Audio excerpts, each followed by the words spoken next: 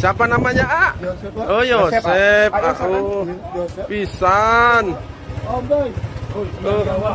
Seorang pria berusia 34 tahun berhasil ditangkap oleh Unit Perlindungan Perempuan dan Anak atau PPA bersama tim Resmo Polresta Bengkulu. Penangkapan dilakukan setelah pelaku dilaporkan melakukan perbuatan tak senonoh terhadap seorang anak laki-laki berusia 12 tahun.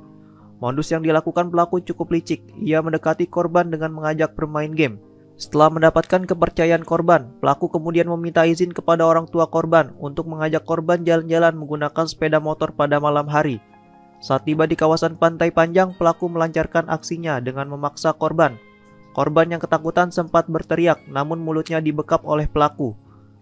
Setelah kejadian, korban menceritakan peristiwa traumatis tersebut kepada orang tuanya. Tidak terima dengan perbuatan pelaku, orang tua korban kemudian melaporkan kejadian tersebut ke pihak kepolisian.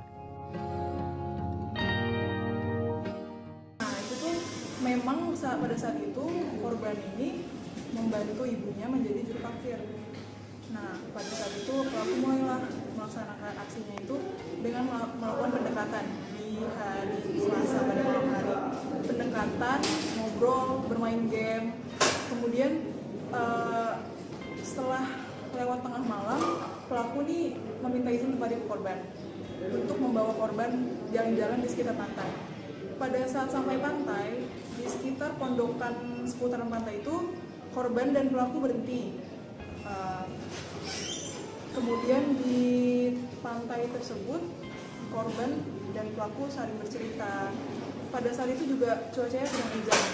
Kemudian pelaku berkata um, ngomong ke korban bilang ayo uh, aku mau coba. Coba maksudnya mau coba lah kayak apa sih rasanya nah kemudian pelaku nih memerintahkan korban untuk membelakangi pelaku dan pelaku langsung buka celana korban. Kemudian pelaku membuka celana juga langsung memaksa memasukkan alat kelaminnya ke eh, anus korban.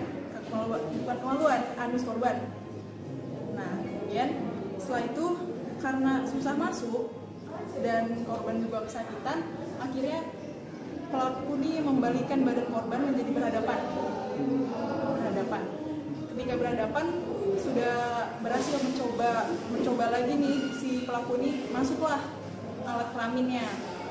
Korban pada saat itu teriak kesakitan kemudian pelaku panik dan langsung melepaskan alat kelaminnya ke alat vital korban. Ini baru pertama kali dilakukan atau sebelumnya sudah ada pernah juga? Untuk pemeriksaan kemarin masih baru pertama kali. Jadi pelaku ini eh, mengalami gangguan atau semacam Kelainan. kelainan atau? Oh itu masih kita selidiki ya karena dari bahasa tubuhnya pun masih kelihatan normal kan.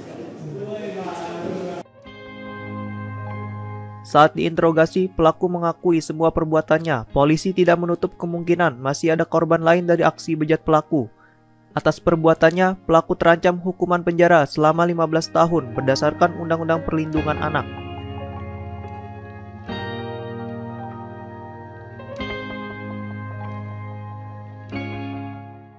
tujuh sembilan